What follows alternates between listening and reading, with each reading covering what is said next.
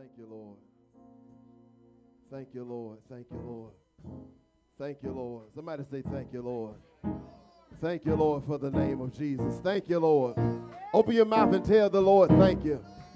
Thank you, Lord. Thank you, Lord. Thank you, Lord. Thank you, Lord.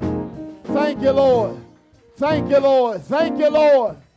Thank you, Lord, for Jesus. Thank you, Lord. Hallelujah for Jesus. God, we magnify you for Jesus, God. God, we exalt your name for Jesus, God. God, there's no other name that we know, God, than the name of Jesus, God. And we call on Jesus right now, God. God, we dig deep this morning to call on Jesus, God, because he's awesome, God. God, because he's wonderful, God. God, because he's a, may, a way maker, God. And we just thank you, God, for Jesus. Open your mouth and call him, call him, call calling, calling, him, call him, call him. Yes, yes, God, we're calling you, God. We're calling you, God. Yes, God, we're calling you. Yeah, yeah, yeah, yeah. Thank you, Lord. Yes, yes, yes. Yes. Mm. Yes, yes. Yes.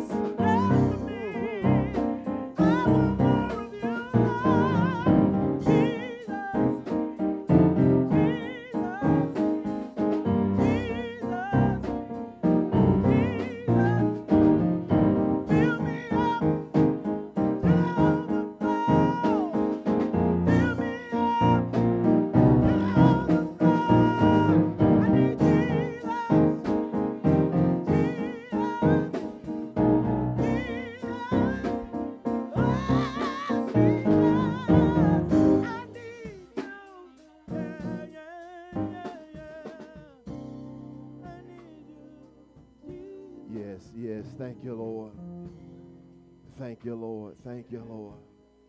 He's faithful to his name. He's faithful for his name's sake. He said, If you call unto me, I will answer thee and show thee great and mighty things which you know not. If, you, if there's something that you need to know, you need God to do something mighty, you ought to call him. You ought to call. I don't know what you're going through right now, but but if there's anything that you need God to do, you need to open your pride for lips this morning and say, Lord, I'm not worrying about my name. I'm not worrying about me, me being visited in this place. But I come to call on the name of Jesus. I come to call. I come to call him because the Bible says the name of the Lord is a strong tower. And if you need a strong tower this morning, you have to call on Jesus. You have to call on the Messiah. You have to call on the anointed one. That's who he is. That's who he is. That's who he is.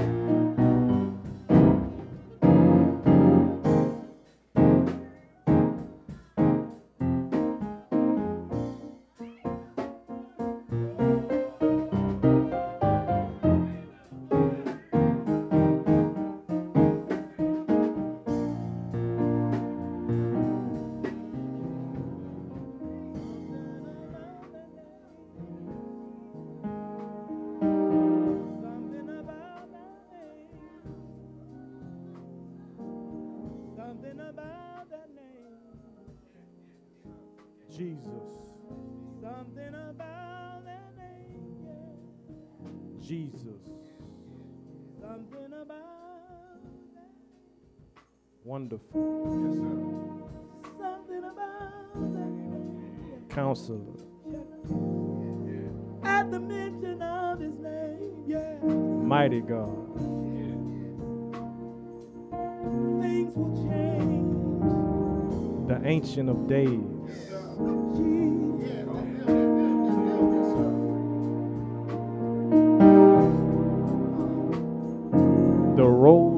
Rose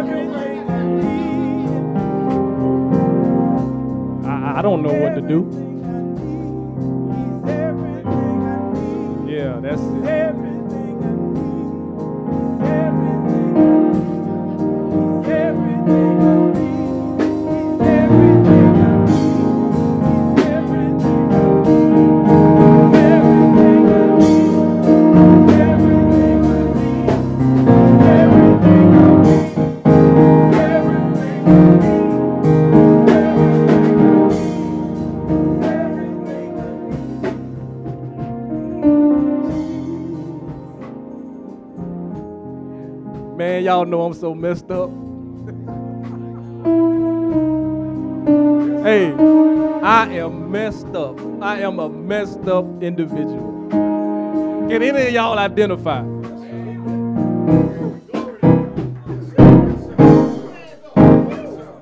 Hey, can anybody identify with me? And then we have our worship leader start this thing off earlier about how messed up she is. And do y'all see how transparent she was? She just went in and just began to tell her business. She just began to dissect herself in front of the whole congregation, congregation, in front of her family, in front of her brothers and her sisters. Transparency.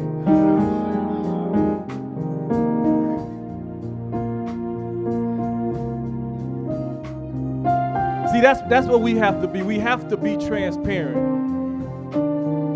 Because see, he did it all. I don't have to worry about doing this thing until perfection, see. He did that. I'm not trying to excuse any of my actions or anything like that, but I'm just dealing with the truth about what he said. He said, Your righteousness is as filthy rags. He is my righteousness.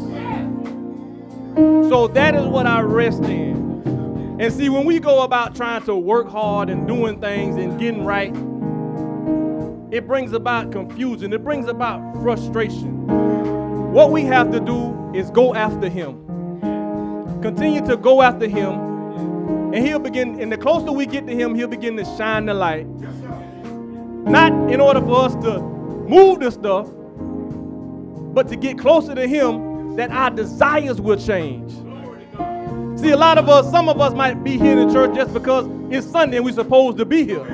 But we got to get to the place where we want to be here. Where, where, where you was up Saturday night getting your clothes ready for Sunday. That's a desire. I give you the desires of your heart, not your heart's desire. I will give you the very desire of your heart. Y'all understand what I'm saying? I'll give you the desire, not what your heart want, but I'm gonna give you the right kind of desire.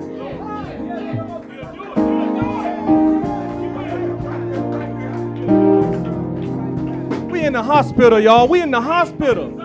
We, we, we have to know that we in the hospital. We messed up, man. Man, we messed up. Lord have mercy, we messed up.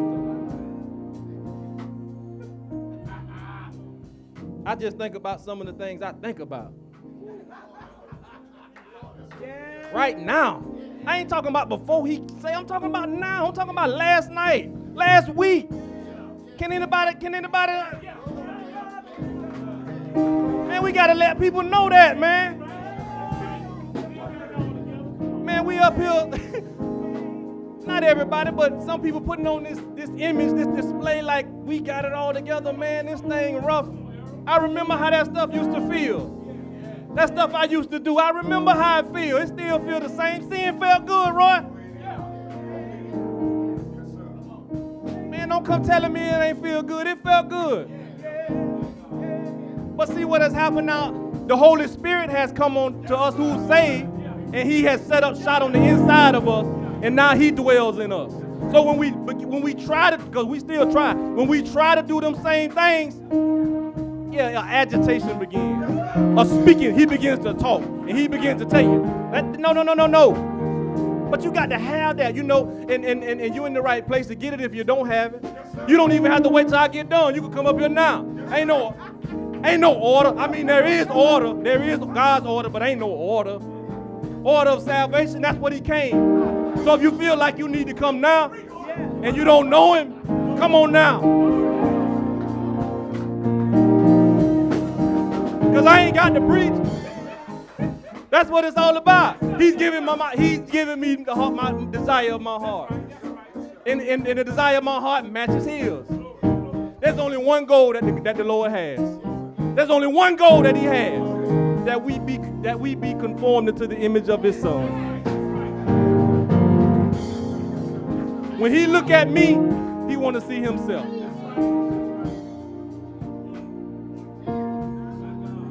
He credited my account, y'all. Credited my account. I'm good already. I can't mess up.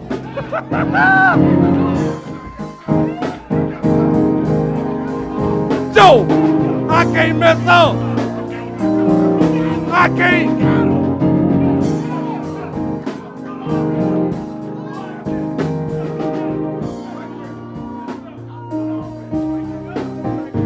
But you got to have the Holy Spirit inside of you. To those who don't have that, it might sound like it's, I'm giving you a license to sin. Again, I say, to those who don't have the Holy Spirit, it might sound like I'm giving you a license to sin. And that's the, and that's the mindset of the unsaved soul. But when you have his spirit, you don't want to no more. You do, you will, but my want to has changed. My want to, I don't want to no more. Even I'm gonna do it some more. I'm gonna do it some more, Joe. Come on, come on, come on. Joe, listen. Bro, I'm gonna do it some more. Man, y'all don't want to hear that. But you gonna do it some more too.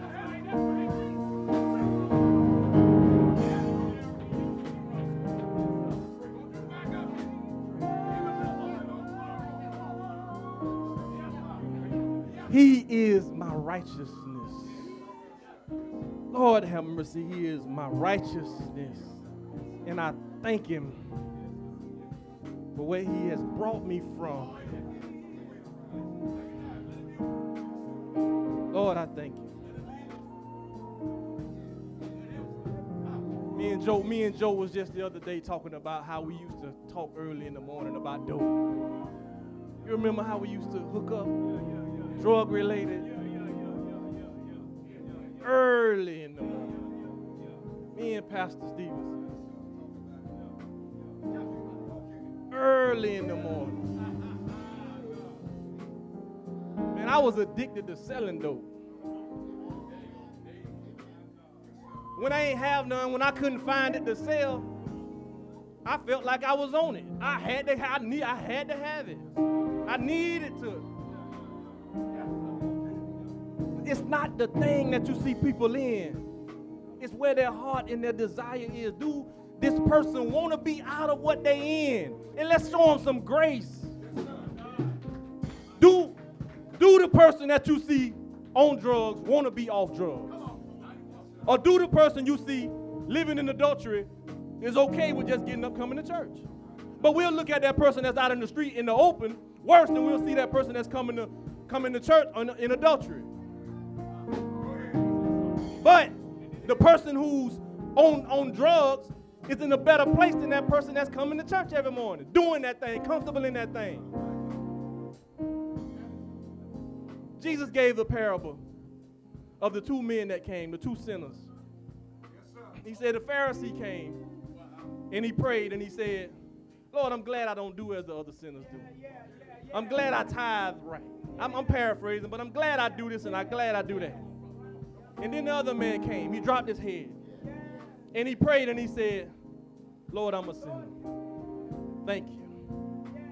I know this, and I, y'all, I don't know it exactly, but y'all know where I'm going. Lord, I'm a sinner. Save me. Help me. The Bible says this man walked away more righteous than the other. More justified. That's right, Brooke. Ah, God,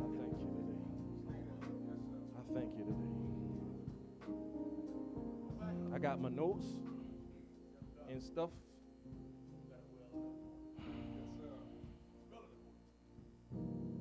So let's see what we do. Let's see where we go. I ain't gonna hold you long, definitely.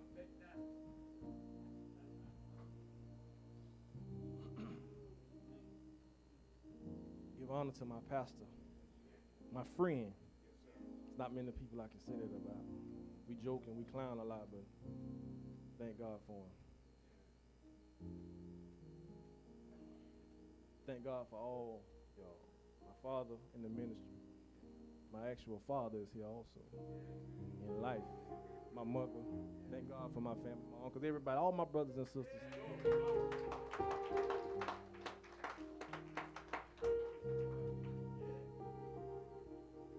I am going to briefly, I think, yeah, briefly, go, go, we're going to go, I'm coming from the book of Second Timothy.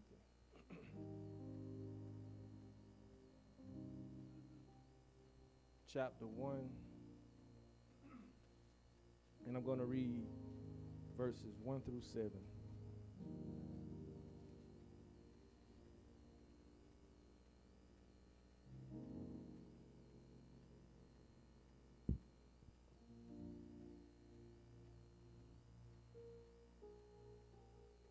The way when I was studying this, I don't think I'm just going to read it out.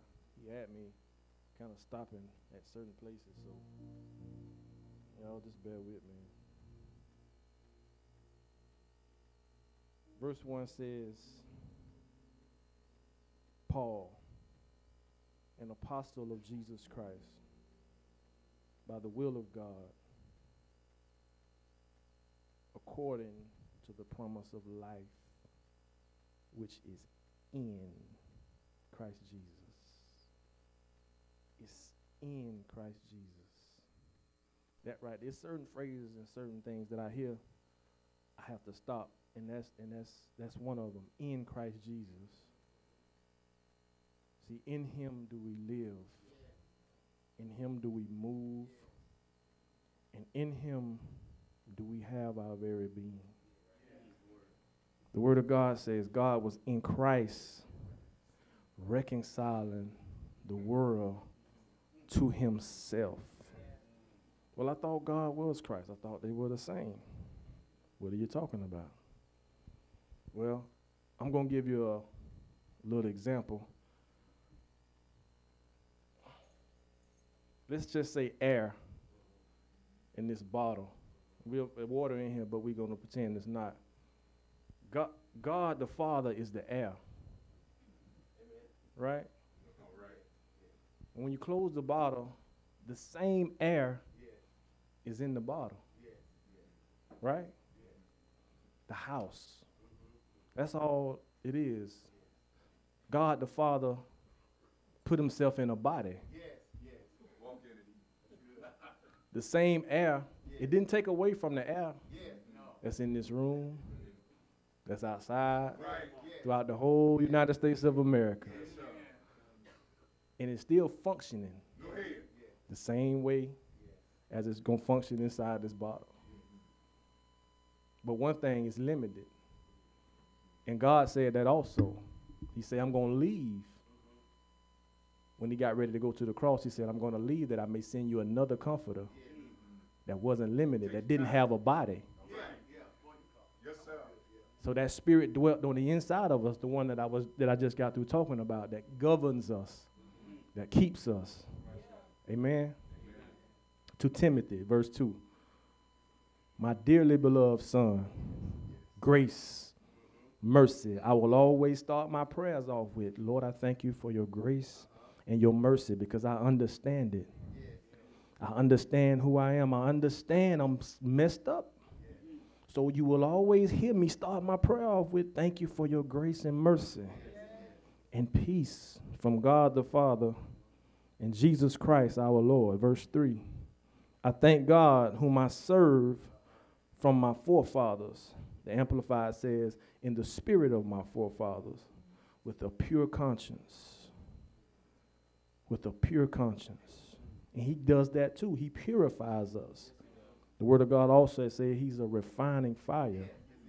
Refining fire, like gold, burns, full of soap, washes us thoroughly, that without ceasing I have remembrance of thee in my prayers. And that word right there, remembrance, in the Greek is mneia.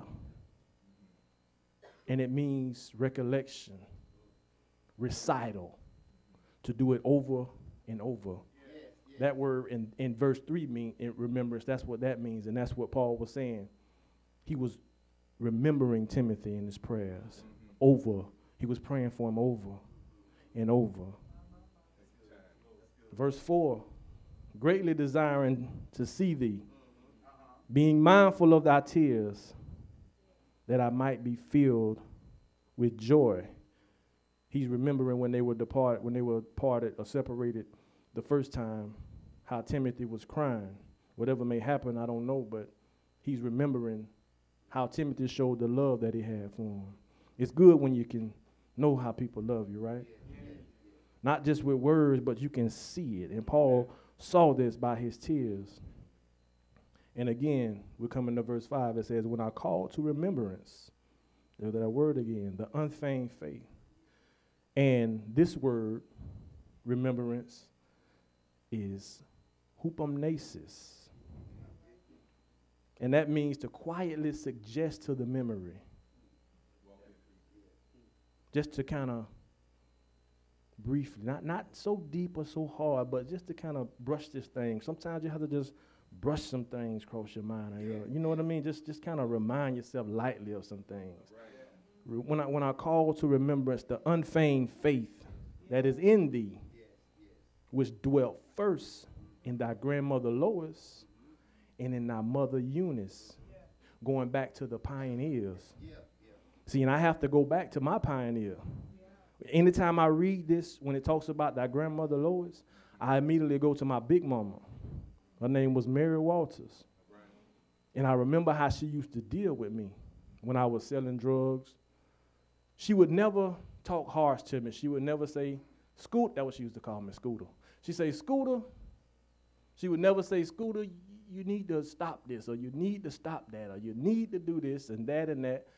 She just continued to love me she just continued to love me and was there for me. And the, the, the, the night that she died, I mean, you know, I saw, I saw the love is what, is what I'm trying to say. I saw the love, you know, and, and, and, and, and there was no judgment there. You know, unconditional love. And, and she wasn't even my blood. She wasn't even my blood. And when she died, it's like I could not sell any more drugs. The night she died, the next day, all the, the, the dope that I had, I went in the back and I threw it all out in the woods. And I was lit. No, I better not tell everybody where I was living at, because everybody might not be. Can I?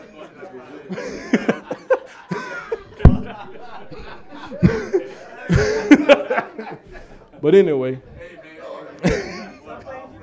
yeah, yeah. Somebody might go on a treasure hunt. And it also says my mother Lois, and I think about my mom also. And when I was reading this, Pastor Stevens, and I was thinking about your mom as well. You remember they brought the church out to the Willow? We looked down the road, they were just coming out there. Boy, the whole church was just coming to me and him running out the back door high. We needed that kind of stuff. Foundation. And, and, I, and I don't want to stay too long, but I'm still on these words remembrance also. And, and, and it says, Thy grandmother Lois and my mother Eunice, and I am persuaded that in thee, that is in thee also. That faith is in thee. It was in him also. Verse 6 Wherefore I put thee in remembrance. And this word right here, remembrance. I had a little trouble saying this, so I'm gonna try to y'all help me when I don't laugh at me, Ranjit, when I try to pronounce this. Is anamnesco. And what I want you to see is in verse 3, in verse 5, in verse 6, we have the word remembrance. But each one of those words means three different things. So, and I turn to verse, I mean, chapter 2, verse 15 says, Study to show thyself approved unto God, a workman that needeth not be ashamed, rightly dividing the word of truth. So I can't just grab these words, uh-huh. even if they the same word. I can't just grab them and just think they the same thing because in this language, in this Hebrew, this Greek language, they all mean different things. You understand what I'm saying? So, so we have to dig and we have to study mm-hmm. to show ourselves approved. And, and, and, and, and that's, that's what changes us, the word of God. And see, you hear people sometimes say, you know, they trying to use all this Greek and all this Hebrew, and, and that might be the case behind the right, the wrong motivation. You know what I mean? Paul says all things are lawful but not expedient. You see what I'm saying? So it's, it's all depends on the person and how they're using this thing. They, some people might be up trying to be a professor and use Greek and Hebrew, but Roy, I, I, I need to know what's going on. Because of who I am, I, need to know because the word of God is what's going to change me. So I have to dig and I have to study. You know? So I so so so I strongly suggest you get you a concordance and dig and research this thing. Because that's what's going to change you, not just coming to church.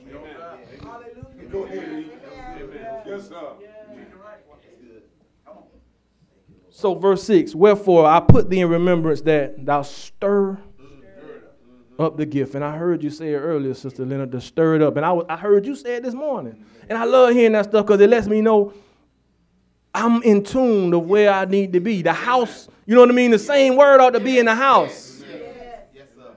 Yeah, yeah, it, it, it, we all a family that we, we the same word needs to be flowing in the house. And I, and I need to hear what's going on. I don't want to just study say I'm going to preach this and this thing stuck in my mind. I'm open all the time when I'm reading. I'm like, Lord, is this what you still want to say today?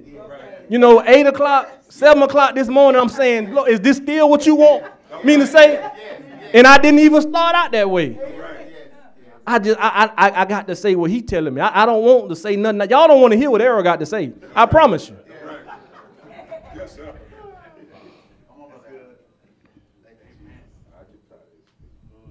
Stir up the gift that's inside. And, and, and a lot of us, when we first got saved, there was a passion, you know, a different kind of a hunger and a different kind of a thirst. Y'all remember? You wanted to tell everybody about it. You wanted to do everything. And if y'all will turn with me to, for a minute, to Romans chapter 10 verse 2. If y'all beat me there, please just wait on me.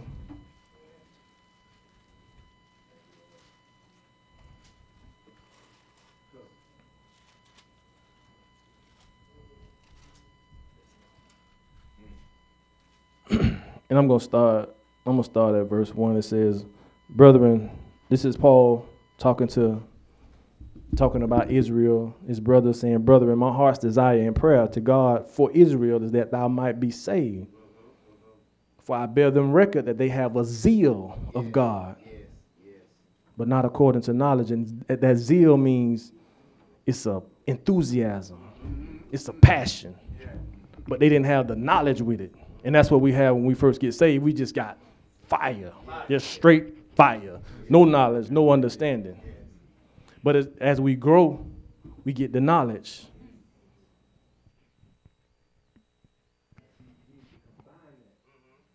Are y'all following me so far? And I also want to show you a slight similarity in uh, John 4 and 23. Y'all don't mind turning with me.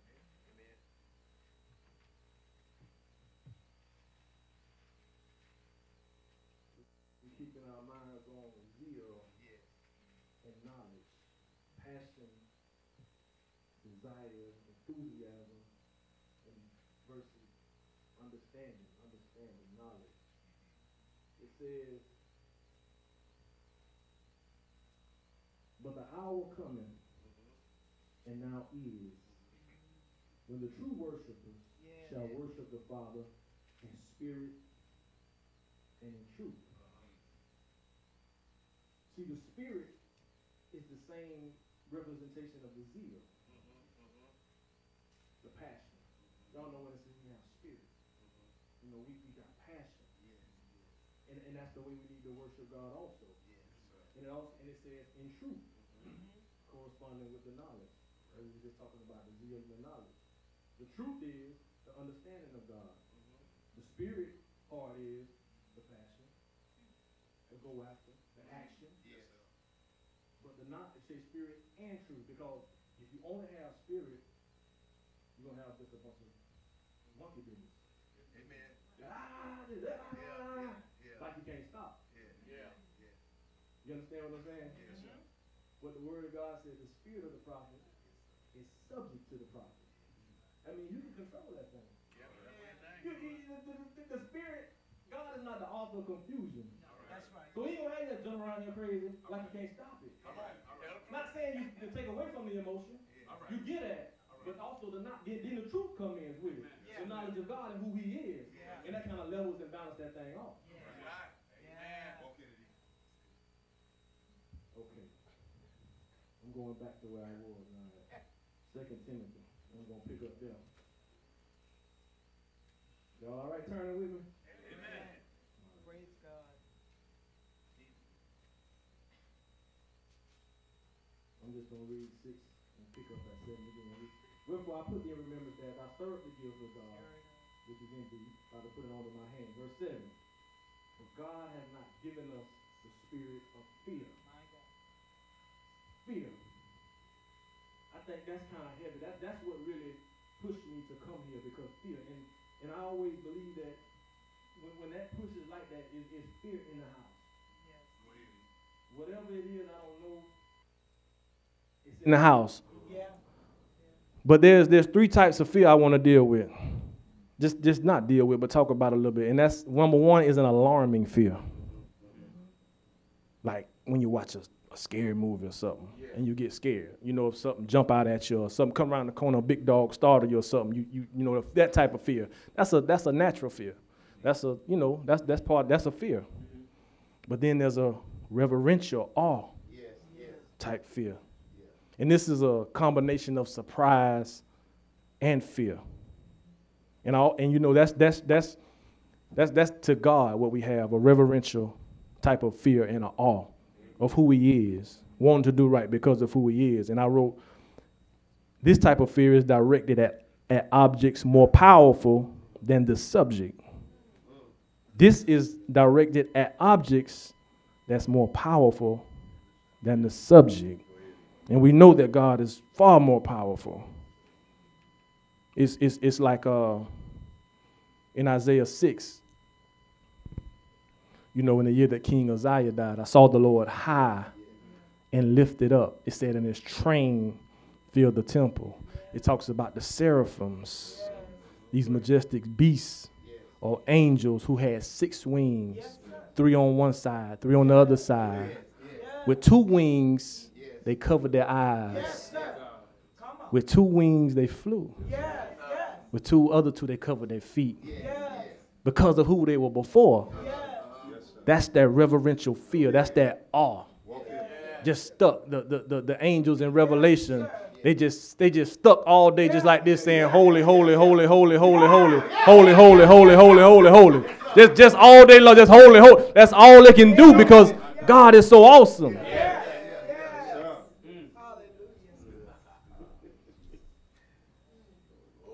And all these are what I want to call good fears, natural fears. But this last fear is the one that he was talking about dealing with Timothy with. And that is a timid, faithless type of a fear.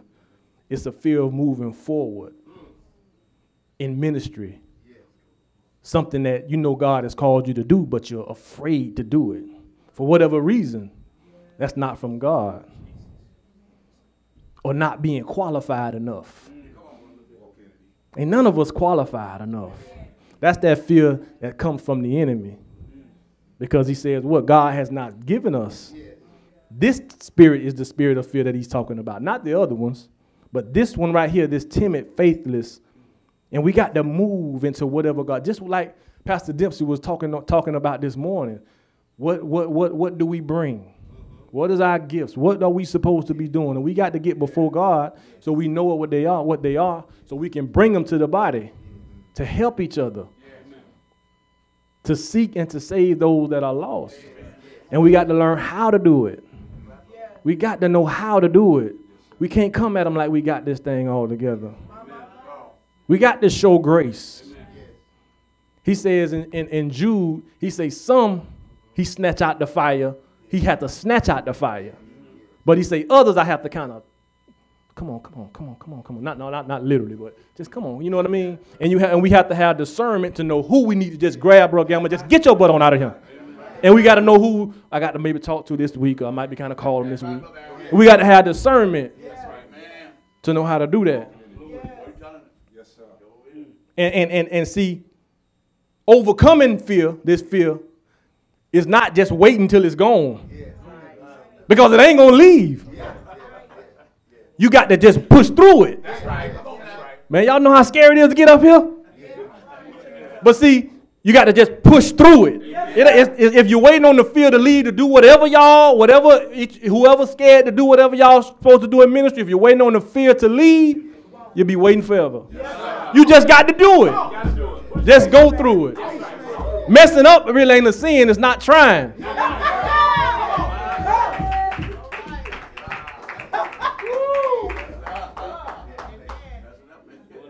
Yes, sir. Yeah, see, the book of Timothy, the book of Timothy is Paul's final words to Timothy, but not only to Timothy, but to the world. Because he was in prison in Rome and he was awaiting his death. And y'all know how we gather around our loved ones, waiting on those last words, especially if someone of great importance or you know who has some wisdom. That's what was going on here. He was pouring his heart out to Timothy. And he was telling Timothy about the fear because he was leaving him in Ephesus as he went to Macedonia to do a work. He left him there in charge of the church that was in Ephesus to teach leaders. It's hard to teach some leaders sometimes. Not if they don't have the right spirit because they say we be set in our ways, set in traditions and stuff. Amen. Got just a little bit more I want to talk about. And I'm gonna go back to first, the book of First Timothy just for a moment. Chapter one. And I'm almost done. Chapter one. I'm gonna read verse three. I'm gonna read verse four, and I think I'm gonna read verse eight. It says, and, and remember, we're in the mind frame of this is, you know, Paul's instructions to Timothy, telling him how to run the church while he's away, and you know how to conduct things. As I besought thee to abide still at Ephesus when I went to Macedonia, that thou mightest charge some that they teach no other doctrines. Hebrew Israel, Israelites, like Pastor Dempsey was talking about. Y'all see how this thing just stay? Man, that stuff like that, man, it, it does something for me. It let me know, you know, I'm, I'm he, oh man, it, it let me know I, am I heard him, I'm hearing him. Because I don't know all the time, you know what I mean? Sometimes I'll be down praying, I'll be wondering if I'm supposed to pray. I'll be wondering if I'm supposed to read. I'll be wondering if I'm supposed to be quiet. You know, but that's a good wonder. So if any y'all have that, that's a that's a good wonder. You know, you could be wondering about some other stuff. Verse 4 says, Neither give heed to the tooth fairy. Amen. Eating black eyed peas on New Year's Day. Don't wash no clothes on New Year's Day. give heed to that kind of stuff. And you know me, I, I, make sure I don't eat no black eyed peas on New Year's. And I, I wash a whole load of clothes. I make sure I wash them bad babies. I'm telling you.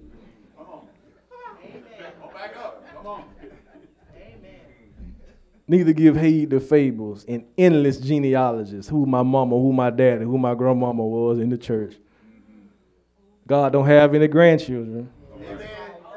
And for any of y'all who just heard that phrase and don't know what that means, that means he doesn't deal with anybody secondhand. Father son, father daughter relationship, personal, all the time. That, that, that's what that means. It's this stuff right here, these stuff about tooth fairies and black eyed peas and washing clothes. It said, which minister questions whether in godly edification, which is in faith. He said, so do these things. So do these things. And the last one I, I want to touch on is verse 8, and it says, But we know, because Timothy was, before I read that, but we know Timothy was instructing them in the law or, you know, the ways of God. And it says, But we know that the law is good if a man use it lawfully. If he, lo- only if he use it lawfully. See, the law was only meant to identify sin not save us. Amen. That's all the law was for. Just to identify what's wrong, what is sin. That's all the law can do for you. It can tell you that adultery is a sin. It can tell you that murder is a sin. It can tell you that stealing is a sin. But see, what we do oftentimes, we, we, we want to look at this law that's telling us what to do as if it can save us. But it can't. We got to get to the one who created the law. You know what I mean? Because, see, grace was actually before the law. Yeah. Grace was before the law. He made a promise to Abraham. Even before he, Moses went to get the Ten Commandments off Mount Sinai. And let's go even further. In the garden, he promised Eve, or he promised the woman about the seed. Say, will crush the head of the serpent. Promise grace. He was showing grace right there. He said, see, these things are types and shadows. He was going to send the one who was going to fulfill the things we trying to do. But he had to show us the law so we would know what is wrong and what's right. If he didn't give us the law, we wouldn't know. It wasn't for us to do it because he was going to send the one. He said that back in the Garden of Eden. Yes, So now is the time. Now is the time. And Roy was touching on hell a little bit this morning too. And we got to talk about not hell, but this th- th- this time is winding down. And in Second Peter, he says um, how you've been promising about he coming back for a long time. You've been saying this forever, and y'all been saying this for thousands and thousands of years. But see, after that, he goes on to say, yeah, but the Lord is being long suffering. It's, he, he, it's not that he won't come, but he's waiting on everybody to get saved. He wished that none should perish. So when that last person, and there's no way none of us can know where or who that's going to be, but when that last person gets saved, that, that sky going to split. And just like lightning from the east to the west, You say you're gonna see me. Every eye gonna see me. And it's gonna be too late then. Not too late to stop doing stuff, but too late to get close to the one who can stop you from doing it. That's that's if I don't say anything, if y'all don't agree with anything that I say, please get that. You can't stop stuff. You got to get to the one who can stop it in you, who can stop, who's gonna stop the desire in you.